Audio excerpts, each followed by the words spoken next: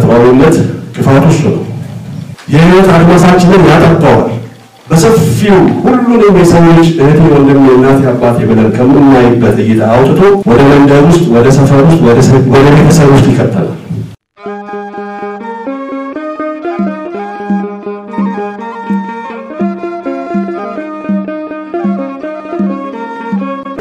ተንሥአ እሙታን አሰሮ ለሰይጣን ሰላም ኮነ። አሜን። እግዚአብሔር ስም የተመሰገነ ይሁን። ዛሬ እንደ እግዚአብሔር ፈቃድ ግላዊነት ይህ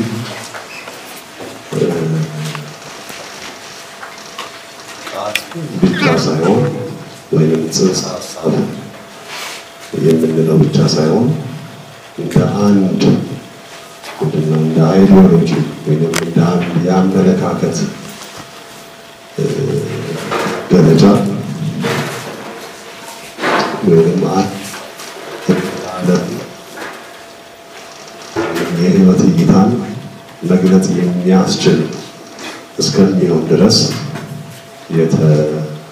እየተገለጸ ያለ ሀሳብ ላይ እንወያያለን።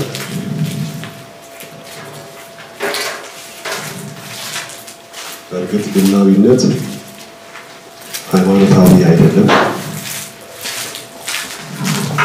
ወይም ክርስቲያናዊ አይደለም፣ መጽሐፍ ቅዱሳዊም አይደለም። እንደ መጽሐፍ ቅዱሳዊ አስተምሮ የምናገኘው ቢሆን ብዙ አባቶችም ስለ ግላዊነት መጽሐፍ ቅዱሳዊ ማስረጃዎችን እየጠቀሱ ያስተምሩ ነበር፣ በአስፈላጊነቱ በጠቃሚነቱ። ነገር ግን የመጽሐፍ ቅዱስ አስተምሮ አይደለም። በብሉይ ኪዳንም አናገኘው፣ በአዲስ ኪዳንም አናገኘው። በአጠቃላይ የክርስትና አስተምሮ መገለጫ አይደለም ግላዊነት። ስለዚህ ግላዊነትን እንደ ርዕስ ይዘን ስንማር እንደ አስፈላጊነት፣ እንደ ጠቃሚነት ወይም እንደ አንድ ልንይዘው እንደሚገባ አይነት አድርገን አይደለም የምንወስደው። በራሱ ግላዊነት አሉታዊ ነው። ግላዊነት በራሱ አሉታዊ ነው። ምን ማለት ነው? ከቤተ ክርስቲያን አስተምሮ ጋር የሚቃረን ነው። ምክንያቱም ቤተ ክርስቲያን ህብረታዊነትን ነው የምታስተምረው፣ የጋራነትን ወይም ደግሞ የእህት የወንድም በልክ ቅዱስ ጳውሎስ እንዳስተማረው በክርስቶስ ራስነት ላይ ያለን እያንዳንዳችን የክርስቶስ አካል ነን ወይም ቤተ ክርስቲያን ነን። ስለዚህ አንዳችን ከአንዳችን ጋር የምንተሳሰር የምንዋሃድ የምንጣመር ስለሆነ በክርስትና ውስጥ ግላዊነት ራሳችን አንድ ክርስቶስ ነው። እያንዳንዳችን ደግሞ በቤተ ክርስቲያን ሰውነት ላይ ያለን የተለያዩ ብልቶች ነን። እንደምንማረው እንደ እጅ፣ እንደ እግር፣ እንደ ዓይን፣ እንደ አፍንጫ፣ እንደ ጆሮ የተለያዩ የሰውነት ክፍለ አካላት እንደምንለው ነን። ስለዚህ ቤተ ክርስቲያን ከግላዊነት ጋር የምትጋራው ማስተምረው ቢሆን አመለካከት የምትጋራው ነገር የላትም። ግን ለምን እንደ ርዕስ አሁን እንዲህ እንድንመለከተው ሆነ? ቤተክርስቲያን ማትቀበለው መጽሐፍ ቅዱሳዊ አስተምሮ ካልሆነ ግላዊነት ለምን እንደዚህ ገዝፎ የርዕስ ያህል እንድንመለከተው ወይም ደግሞ እንድናጠናው ምክንያት ሆነ ብለን ብንል ማህበረሰቡ በውጭም ያለው በሀገራችንም ያለው በትምህርት ዓለም ውስጥም አለፉ ወይም እያለፉ ናቸው የምንላቸው ሁሉ ከህብረታዊነቱ ይልቅ ግላዊነቱን እየተቀበሉት የአኗኗር መልካቸው፣ የአመለካከት መገለጫቸው እያደረጉ አመጡት። ከህብረታዊነት ይልቅ ግላዊነት እየሰፋ እየገዘፈ እየገዘፈ መጣ።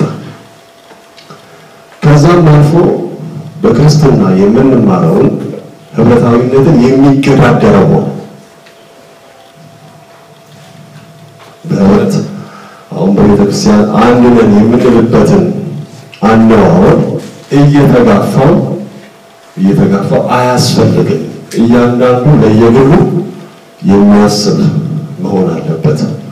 የሚጠቅመን በጋራ የምንገኝበት አነዋወር ሳይሆን በየግላችን የምንሄድበት በግላዊነት የምናስበው በየግላችን የምንሄድበት እርሱ ነው። እንደ ግለሰብም እንደ ቤተሰብም እንደ ማህበረሰብም እንደ ሀገርም ጭምር። በተለይ ከዚህ ከኢኮኖሚው ጋር በተያያዘ የሚጠቅመው ብለው በዛ አይነት አስተምሮ የቆዩት ማህበረሰቦች እየገፉ እየገፉ እኛ ላይም ጭነውብን ከክርስትና በሚመነጭ ህብረታዊነት ከምንገኝ ይልቅ ግላዊነት እያሸነፈ ያው በብዙ መልክ እንደምታዩት እንደምትሰሙት የግለሰቦች ሽኩቻ የጥሎ ማለፍ ወይም ደግሞ አንዱ አንዱን አሳልፎ እየሰጠ ወይም አልፎትና ጥሎት እየሄደ የራሱን ህልውና የራሱን ጥቅም ወይንም የራሱን ፍላጎት ይሰማል ይሰማል። ራሱ ግላዊ ነው። ቢሆን ኖሮ ይተባበር ነበር አይደል? እና የመገፋፋቱ ነገር እየተፈጠረ ይታል። ሌላ ጊዜ እንዲህ ንቀን አግለን ነበር ምንተው። አሁን ግን እንደምንተው አይነት አይደለም እየሄደ ያለው፣ በጣም እየተጋፋ ነው። በተለይ ወደኋላ ከሚገናኝባቸው መልኮች ጋር ያለውን ከማንሳቴ በፊት ግላዊነት ማለት አንድ ሰው ሲወለድ መጀመሪያ ራሱን ያገኘው ብቻውን ነው። ይሄ ደግሞ ተፈጥሯዊ እውነታ ነው። እውነት ነው። መንታ እንኳን ሆነን ብንወለድ መንታ የሆነ ወንድሜ ወይንም እህት ራሷን ችላ ነው ራሷን ችላ ነው የምትኖረው ወይም ራሱን ችሎ ነው የሚኖረው። ስለዚህ የራሱ መልክ አለው፣ የራሱ ስም አለው፣ የራሱ ነገሮችን የሚረዳበት የአመለካከት አቅም አለው። የራሱን ህይወት ነው የሚመራው። ስለዚህ ይሄ በተፈጥሮ ያገኘ ነው።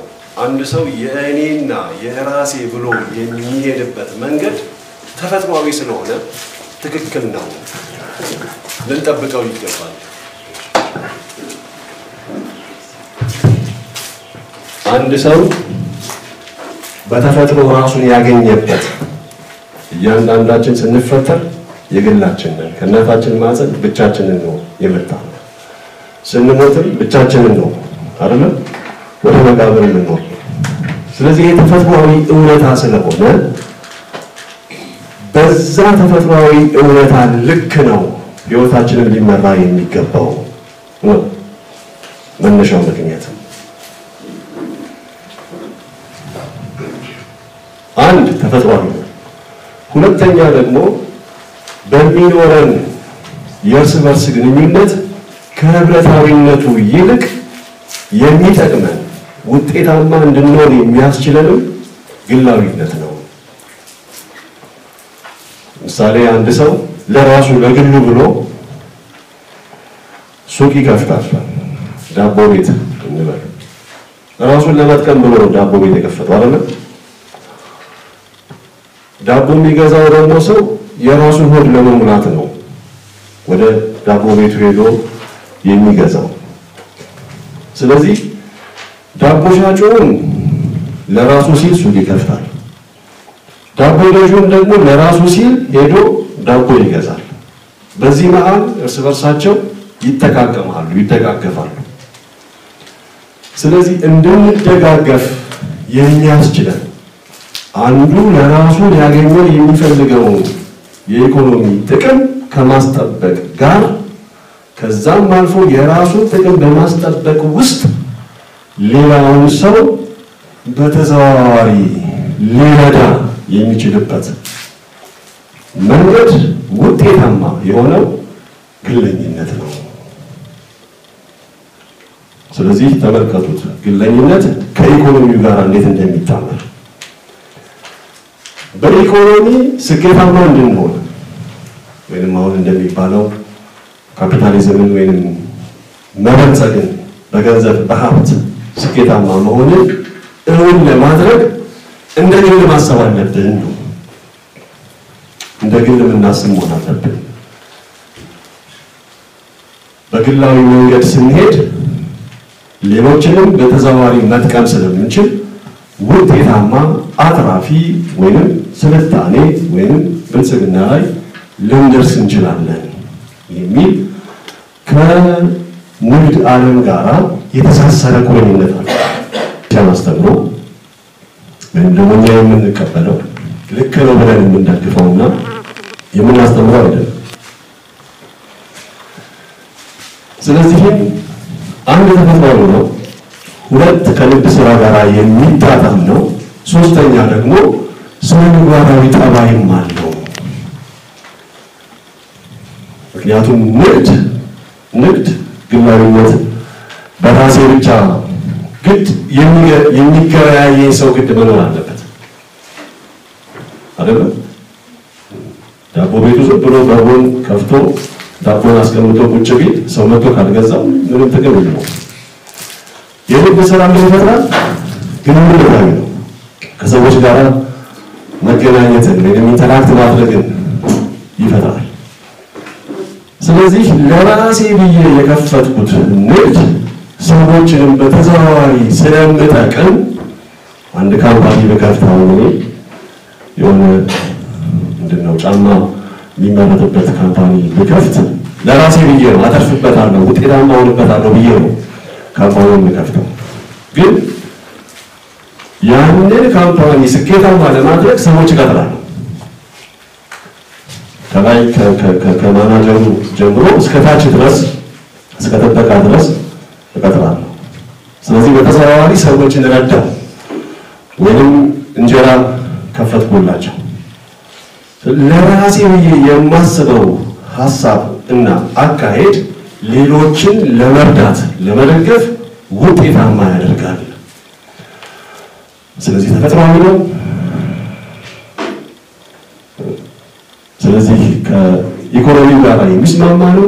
ስነ ምግባራዊነትም አለበት። ይሄ አይነቱ አካሄድ ደግሞ ስልጣኔ፣ እድገትን የምንፈልገው በዚህ ምድር የምንፈልገውን ነገር አግኝተን ኑሯችንን አሳክተን መኖር እንድንችል ያደርገናል ከሚል እሳቤ የመነጨ በአስተምሮ ፒውርሊ ከፍልስፍና የመነጨ ነው። ሰው ለምሳሌ በተደጋጋሚ በጽሁፎቻቸውን በአስተምሮቻቸውን ሲናገሩ ልትሰሙ ትችላላችሁ። የሰው ልጅ የሚያስብ እንስሳ ነው ይባላል አይደል? rational animal ወይም social animal ይላሉ። ወይም ለራሱ የሚያስፈልገውን ነገር ማድረግ የሚችል እንስሳ። እንስሳት ይመገባሉ፣ እኛም እንመገባለን። የሚለየን ምንድን ነው? እነሱ የሚመገቡትን አያበስሉም። እኛ ደግሞ ለራሳችን እንዲጣፍጠን ወይንም ደግሞ በደንብ እንዲመቸን አድርገን ማብሰል እንችላለን። ስለዚህ የሚያስብ አብሳይ እንበለው ማለት ነው የሰው ልጅ። እንዲሁም ደግሞ የሰው ልጅ ቤት ይሰራል። እነሱም ዋሻ አላቸው ወይም መሳፈሪያ አላቸው፣ ጎጆ አላቸው። እኛ ቤት ስንሰራ ግን ለራሳችን በሚመቸን ለመመገብ፣ ለመኝታም፣ ለማረፊያም ያው በኖርማል እንደምናውቀው እንደሚመቸን አድርገን መስራት እንችላለን። ስለዚህ በእንስሳነት እንመሳሰላለን። ግን የሚያስብ እንስሳ በመሆናችን ምክንያት ለራሳችን የሚጠቅመንን የሚመቸንን በጎ የሆነውን ነገር አስበን ማሳካት መስራት እንችላለን ስለሚሉ ግላዊነት ከአስተዋይነት ጋር ደግሞ አቆራኝታታል።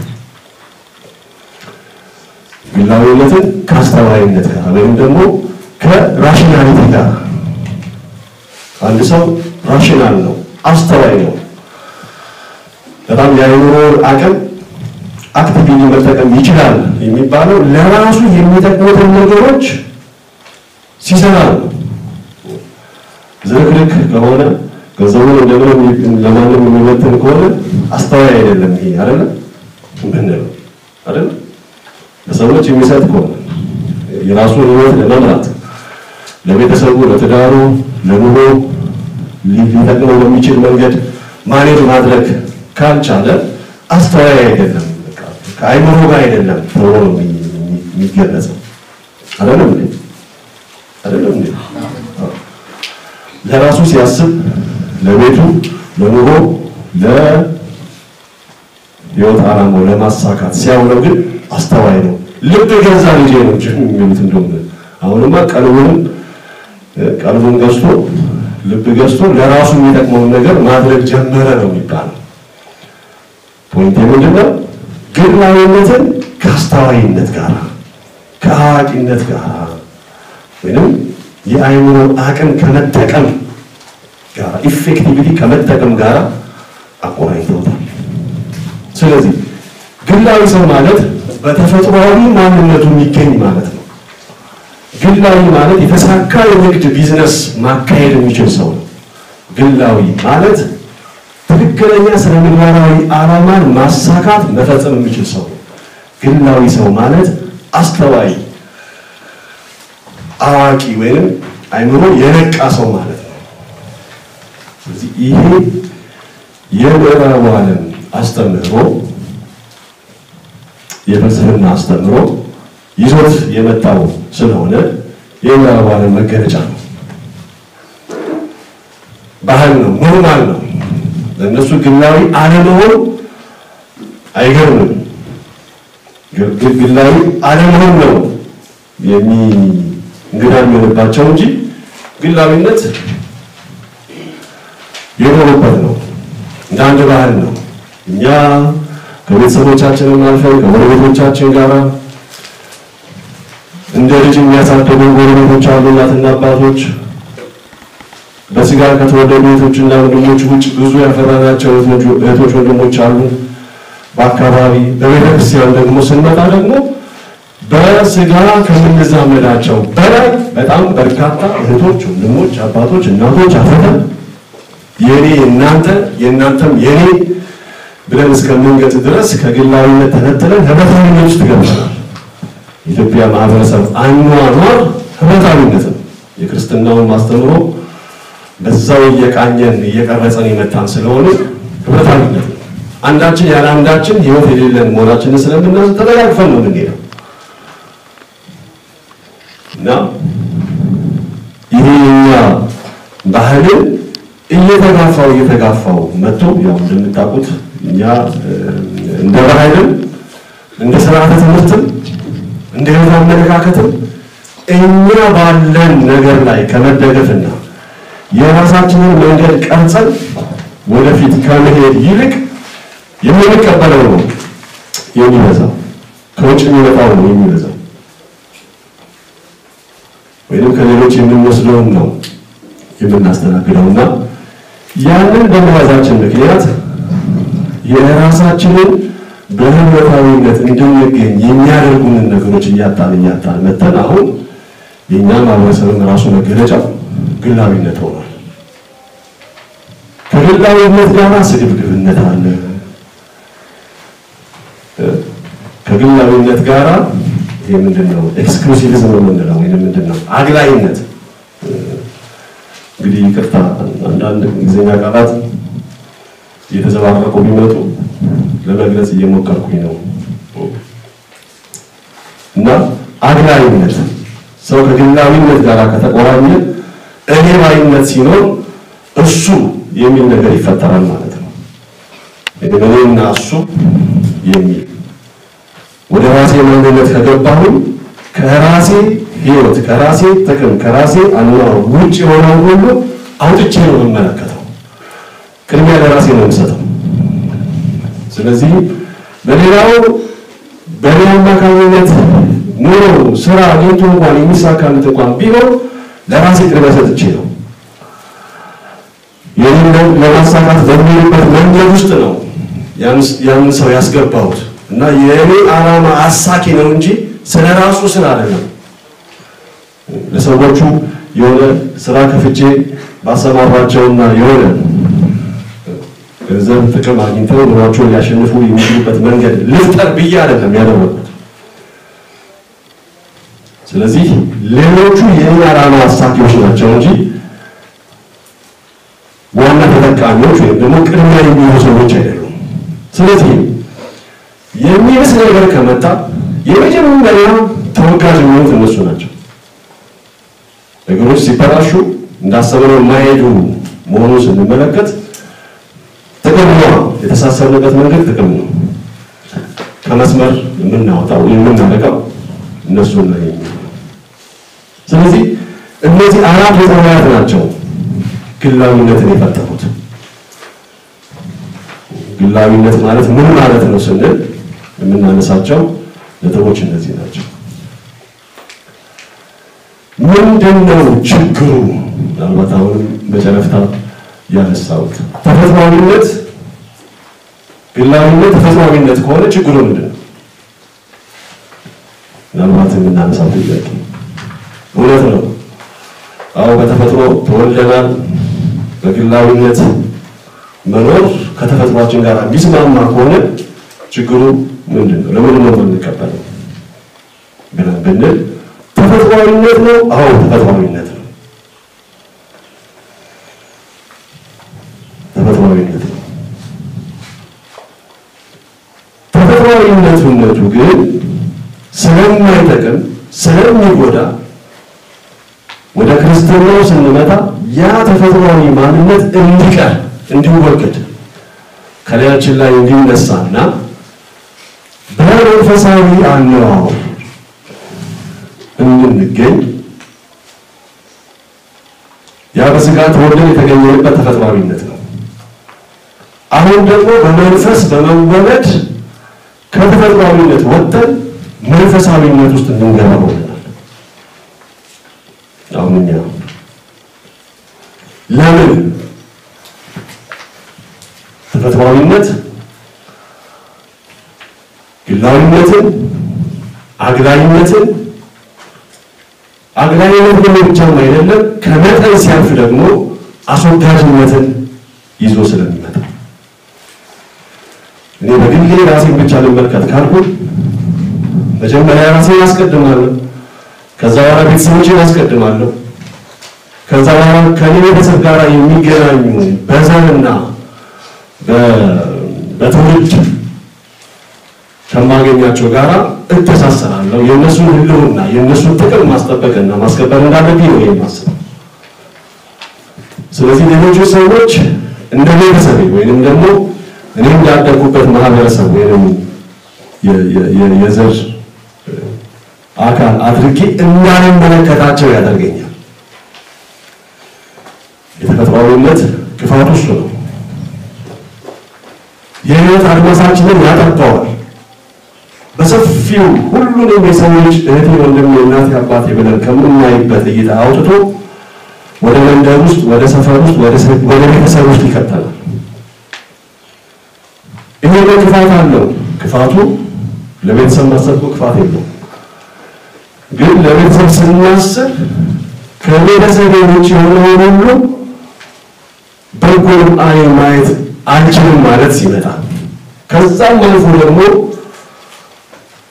በተለይ የዚህ ምንድን ነው የምጣኔ ሀብት ምንድን ነው የሚባለው የተፈጥሮ ሀብት እጥረት ሲያጋጥም የኑሮ ችግር ሲያጋጥም ኑሮ ውድ ሲሆን ነገሮች የምንፈልጋቸው ነገር ሁሉ ለማሳካት የማንችልባቸው ሁኔታዎች ሲፈጠሩ መጀመሪያ ለራስ ከዛ በኋላ ሌላው የራሱ ጉዳይ የማለትንና አስፈላጊ ከሆነ ለእኔ መኖር ሌሎች መሞት አስፈላጊ ነው ብለን ካሰብን ደግሞ እስከ ማስወገድም ድረስ መሄድ ብዙ ይመጣል።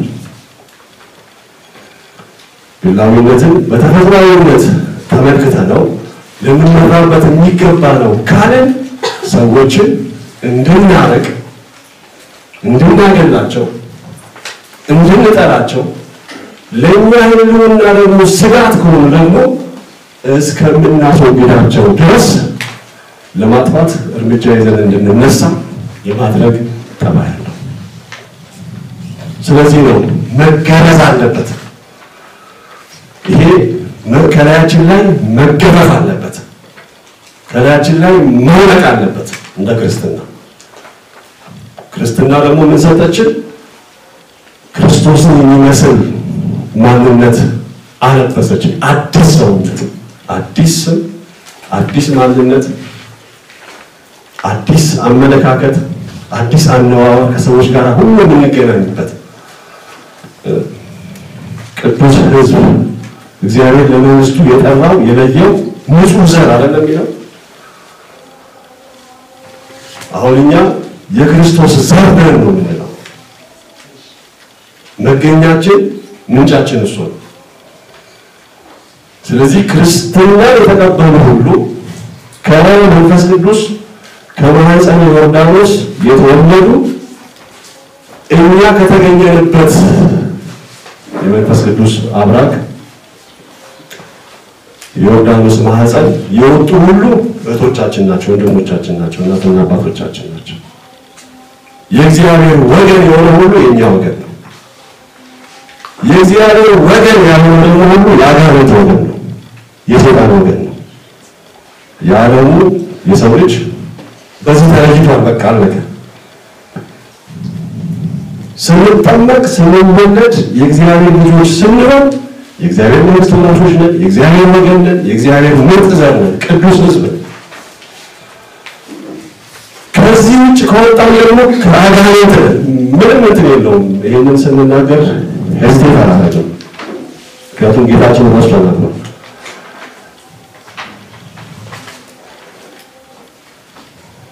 በላከው በልጁ የሚያምን ይድናል፣ ያላመነ ግን አሁኑኑ አሁኑኑ ተፈርዶበታል። በፍርድ ነው የሚኖረው።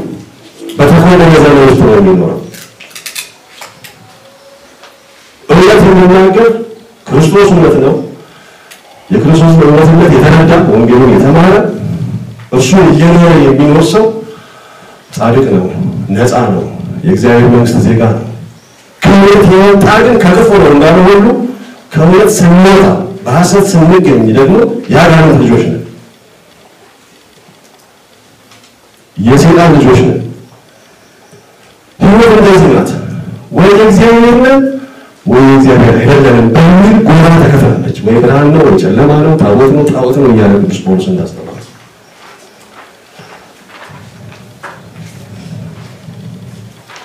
ተፈጥሮ ነው እነሱ የሚሉት፣ እኛ ደግሞ መንፈሳዊነት ነው። ተፈጥሮ በመንፈሳዊነት ቀይረነዋል። ስለዚህ ስለዚህ የእግዚአብሔር ሕዝብ ስንሆን ከእግዚአብሔር የሚወለዱ ሁሉ እህቶቻችን፣ ወንድሞቻችን ናቸው። በክርስትና ውስጥ ግላዊነት የለም የለም። እኔነት ተቀበረ፣ ስንጠመቅ ሞተ።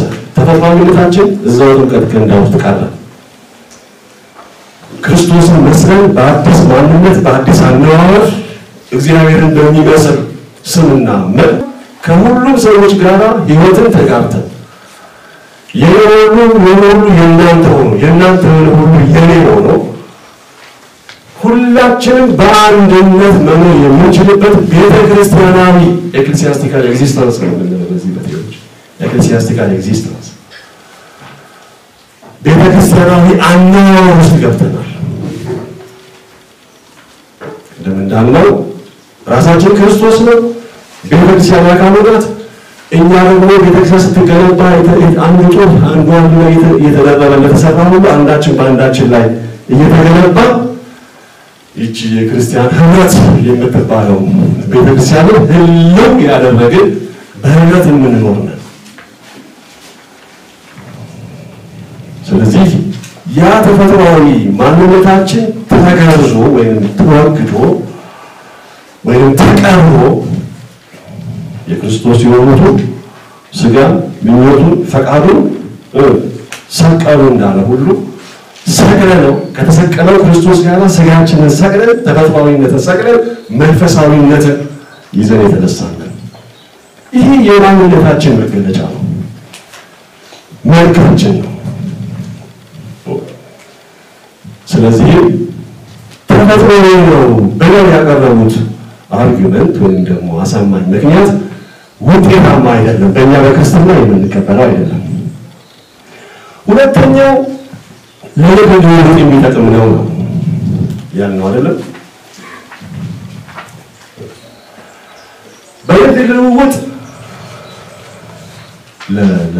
ለመገበያየት ወይም አንዳችን የአንዳችንን ለመስጠት አሁን አሁን በጣም የዚህ የንግዱ ጠባይ እያደገ እያደገ መጥቶ አሁን እውነት ለመናገር በሌብነት የምንገልጸው ደረጃ ላይ ደርሷል። ነው ንግድ ራሱን ችሎ ሌባ ነው፣ ሌብነት ሆነ። ግለኝነት ሲገዝፍ ሲገዝፍ የራስን ጥቅም ብቻ ማሰብ ስለሆነ በውስጡ ያለው ተጠቃሚነቱ አመቺ ናቸው የሚላቸው መንገዶችን ሁሉ በመጠቀም ያ ሊያገኝ የሚፈልገውን ገንዘብ ማግኘት ነው። በቃ ነው የንግድ ክፋቱ ጥቅመኝነትን መፍጠሩ ነው። በአይምሯችን ውስጥ አደገኛ ንግድ መለወጥ አለብን፣ መለወጥ አለብን። አሁን ላይ ያለው የንግድ ጠባይ ግን ጤናማ የሆነው የንግድ ጠባይ ለቋል። ይሄ honest የምንናገረው አሁን የእኛን ፍላጎትን ነው የሚሸጡልን። ለምሳሌ ከሚቀጥለው ወር ጀምሮ ይጠፋል ከተባለ ነጋዴው ሰብስቦ ቤቱ ያስቀምጠዋል። ምናልባት እሱ የገዛው አላውቅም ዋጋው ስንት እንደሚገዛው እንደሚሸጥ አርባ ነው እንበል ያስቀምጠውና ጠፋ በተባለው ጊዜ ያወጣውና መቶ ብር ሁለት መቶ ብር እንደውም ደግ ከሆነ ማለት ነው። ሰው መብላት አለበት አይደለም እንዴ? መብላት ስለሚፈልግ ልክ ለመብላት ሲል ግዱ መጥቶ ይገዛኛል ብሎ አንድ ሺህ እንኳን ብሎ ቢል መኖር ስለሚፈልግ አንድ ሺህ ማውተን እንገዛለን።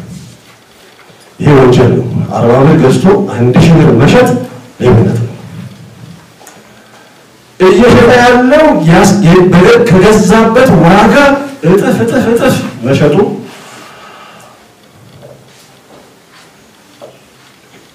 ይበቃኛል አለማለቱ የሰዎችን መጎዳት ራባቸውን፣ ችግራቸውን መጠቀሚያ አድርጎ በዚያ አማካኝነት ገንዘብ ለማግኘት ማሰብ ይህ ነው ጤናማ ያልሆነ ቢዝነስ ማለት ነው። ዛሬ አብዛኛው ቢዝነስ እርግጠኛ ሆኖ መናገር ይቻላል። data ማስቀመጥ ሊያስፈልግ ይችላል።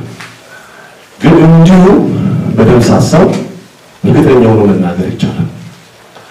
ዛሬ አብዛኛው ቢዝነስ ጤናማ ከሆነ ቢዝነስ ከሚገኝበት መንገድ የወጣ ነው ብሎ ማለት ይቻላል። ስለዚህ ግለኝነት የንግድ መገለጫ መሰረት ነው ካለን ጥቅመኝነትን ይፈጥራል። አደጋው እሱ ነው። በንግድ ውስጥ በግለኝነት ላይ ተደግፈን ነው መገበያየት ያለብን ካልን ጥቅመኝነት ይፈጥራል። ግልጽ ነው፣ ግልጽ ነው። ጥቅመኝነት ይፈጥራል። ጥቅመኝነት ደግሞ ለመጠቀም ስትል የማትሄድበት መንገድ የለም፣ የማትሸጠው ነገር የለም። የእናትን ስም መካድ ካለበት እክዳለህ። አባቴንም አላውቀውም ማለት ካለብህ ትላለህ። ከዛም አልፈህ ሰይፍ እንድታነሳ የሚጋብዝ ከሆነ ሁሉ ሰይፍ ታነሳለህ።